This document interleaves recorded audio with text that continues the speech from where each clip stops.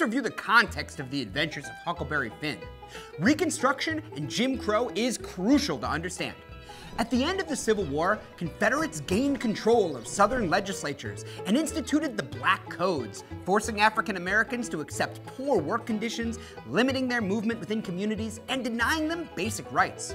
However, Reconstruction, the period of rebuilding following the Civil War, began in 1868, and black men gained full citizenship and equal protection with the passing of the 14th Amendment. But many Southern whites believed equality was a corruption of their race. When Reconstruction was halted in 1877, Jim Crow laws were created. Named after a derogatory term for African Americans, these laws were fueled by Southern white fears that blacks were taking away employment opportunities. In 1890, the Louisiana General Assembly passed a law preventing blacks and whites from sharing the space on a train, overturning fundamental aspects of the Civil Rights Act. The doctrine of separate but equal became law in 1896 with the passing of Plessy v. Ferguson, in which the Supreme Court ruled against a challenge to the 1890 decision. Subsequently, Southern state legislatures passed laws requiring the separation of whites from people of color. African Americans' opportunities for education and employment were severely limited. Protesting or complaining about these conditions often led to violence and threats.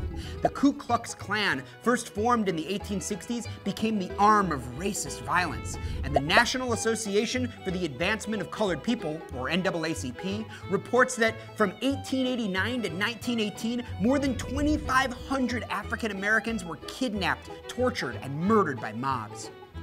One aspect of the adventures of Huckleberry Finn that stands out is the frequent use of the N word, which was an accepted part of the vernacular at the time being depicted.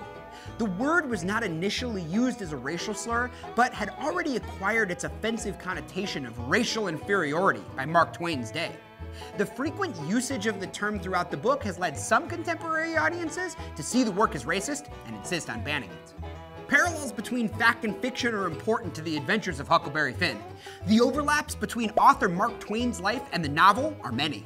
Locations throughout the South are renamed and repurposed for the novel, and Huckleberry Finn is modeled in part after a childhood friend of Twain, who the author described as impoverished, ignorant, and unwashed, but with as good a heart as any boy could have.